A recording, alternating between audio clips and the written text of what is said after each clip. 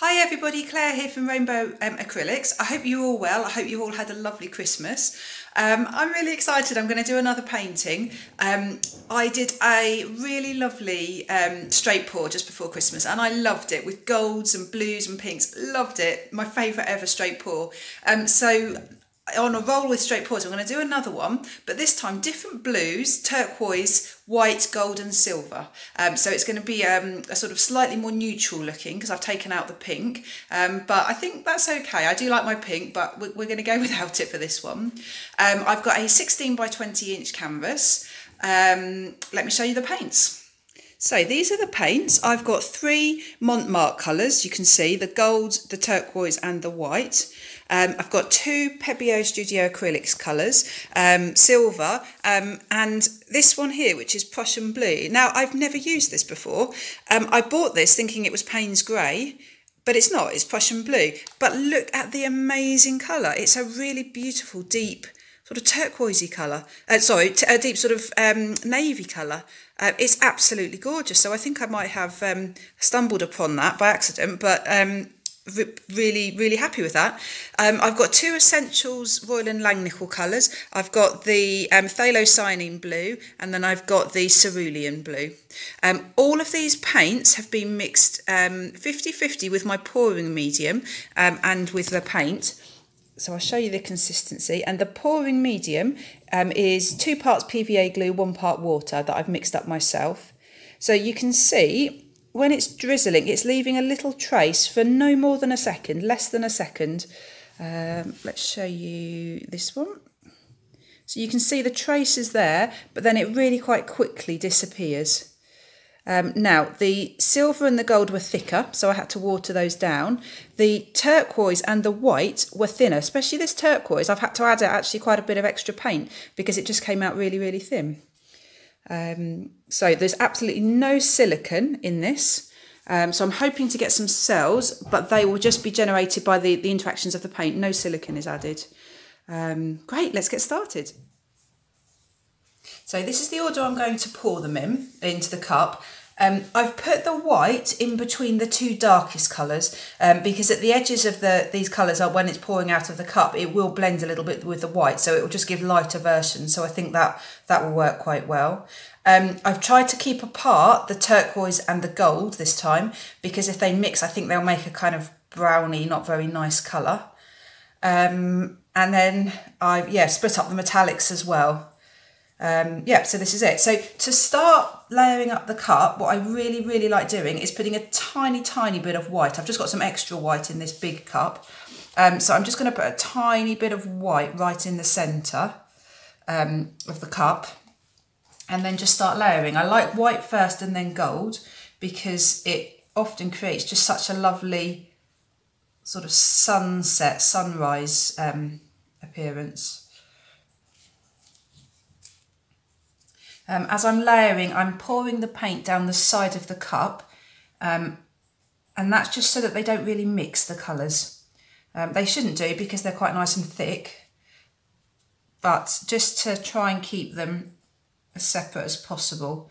So the first layer I'm doing, I'm doing quite small amounts of paint. Um, and that's because as this will be the um, last to come out the cup, um, it will give the most detail right in the centre of the painting. And then my next layer of colours, I will start doing slightly larger amounts, I think. So I'm expecting a good three or four layers out of this in this cup.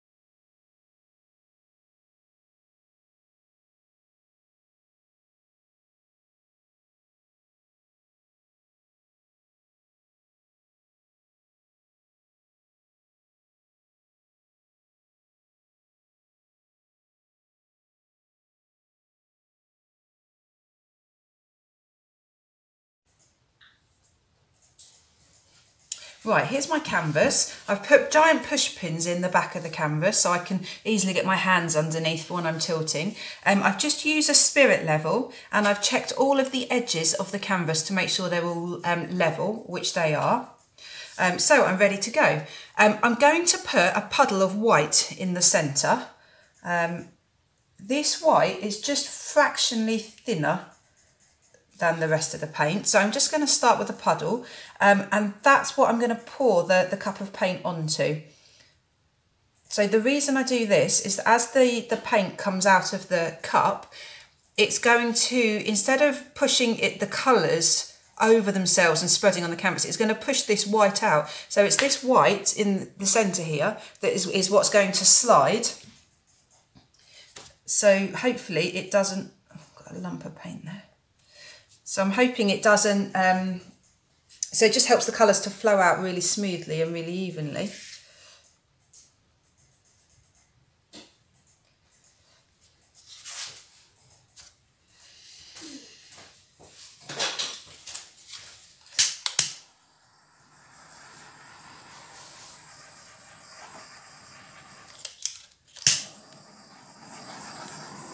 Just burst the air bubbles with the blowtorch.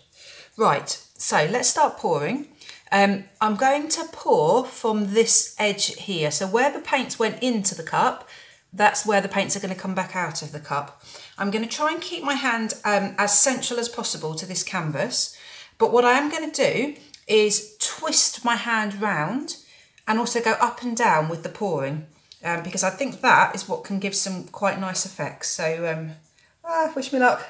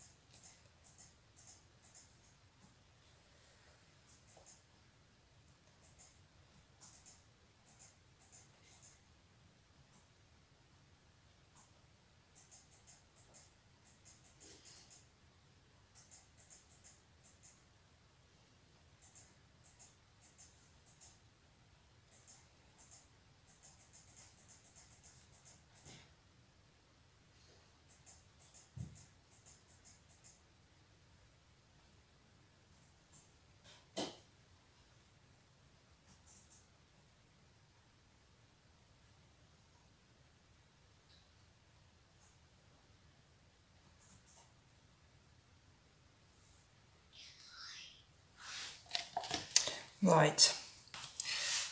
So a few first impressions. Um, I'm happy with the centre. I got that nice and neatly. Um, I'm not quite as keen at the moment on some of this colour and I'm wondering if that is where the silver um, is mixing in. Around the edge it looks fab but where it's sort of muddied slightly, not quite so keen. But that might actually all stretch out nicely. So I'm going to just pour some more of this white around the edge. So next thing to do is just a, a really good torch.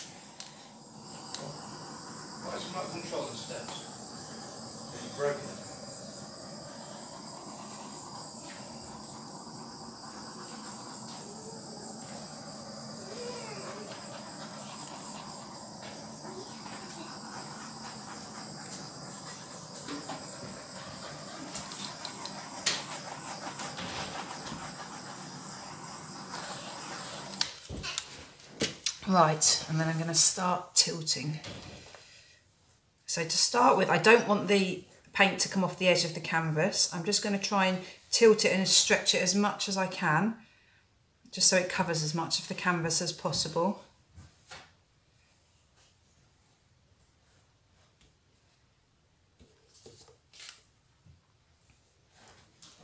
There's a lot of paint here.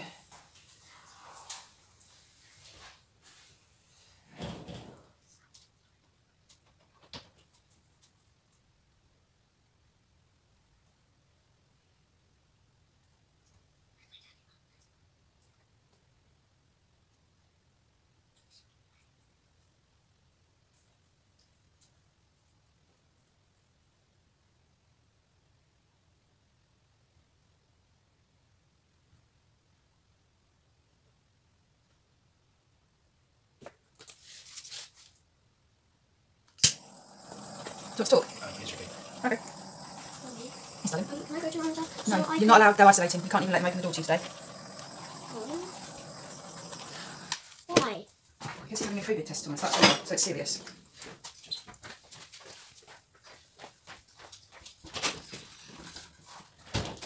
Are you bored? I want to play with Ron and um, I know, but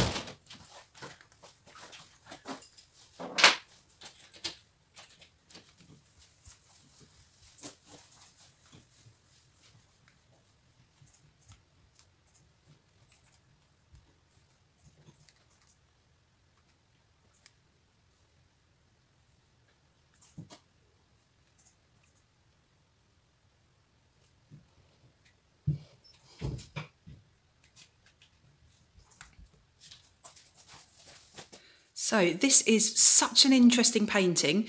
I at one point, or actually quite a few points, I really didn't think I was going to like it. Um, the colours seem to muddy very quickly. Um, there doesn't didn't seem to be the traditional design that you get with um, a straight pour, but actually it doesn't matter. I think what I might have done is um, thinned my paint slightly too much, so it became very swimmy. Um, but actually, I think that gives some really lovely effects. It's just it's it's very interesting, not like a typical straight pour at all. Um, as I said, much more swimmy, much more floaty. Um, the colours just seem to blend much um, much quicker. Um, but it's gorgeous. Um, if you like blues, this is definitely for you. Throughout the entire painting, you've got these little bits of gold lacing throughout the whole painting. So when that is dry, that's going to sparkle. That's just going to look gorgeous. Um, love the edges. I love how the, the design just pours over the edges. Um, and then I'll take you up to this top corner. There's just lots going on. So if you look closely, it's quite a busy painting. But actually, if you stand back, it's quite, I don't know, it's sort of quite relaxing, really. It's not my usual really bright, bold colours. Um, it's a bit more grown up somehow. um, great, I'll be back when it's dry. And here it is dry. Um, I much prefer it now it's dry than when it was wet. Um, and I think the simple reason is that the darker blue has gone darker, so it's added more contrast. Um, if I take you in for a close up, it's absolutely gorgeous, um, but subtle, subtly gorgeous. Um, can you just see all that amazing gold lacing? It's it's subtle, but it's there throughout the whole painting. This just shimmer of gold throughout. You, you can't see the shimmer, unfortunately, on the video, but look, it, it's just everywhere. So when this is varnished, um, it is going to look gorgeous. Um, even in the sort of slightly plainer sections, let me show you this section here, right in the centre, actually the detail and that lacing is so, so pretty. Um, the turquoise kind of got a bit lost apart from that bit there in the centre, but I think probably it's there, but it's just it's just worked to um, lighten the whole piece. It's just gorgeous. Um, it's really quite um, subtle, quite grown up for my paintings because it lacks pink or, or any really bright contrasting colour. Um, but that's good. I'm, I'm trying different things. I want to try different colour schemes out my comfort zone a little bit. Um, so there it is. It to me it really looks like water, um, quite turbulent water, a whirlpool, rock pools. Not not really sure what. I'm not sure what I'm going to call it yet, but something water related. Um, so there it is. Um, thank you so much for watching. Please subscribe to my channel. Please give me a thumbs up um, if you like the video. Um, please leave any comments. Great. Take care, everybody. Bye.